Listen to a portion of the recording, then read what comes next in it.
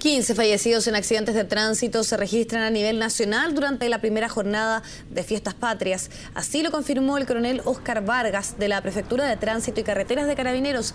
Del total de víctimas fatales, 8 corresponden a peatones atropellados que circulaban en estado de ebriedad, tres colisiones, un choque y un volcamiento.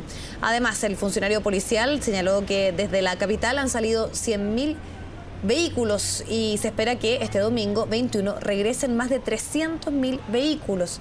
Los mayores flujos se van a registrar en las rutas 68 y 5 Sur.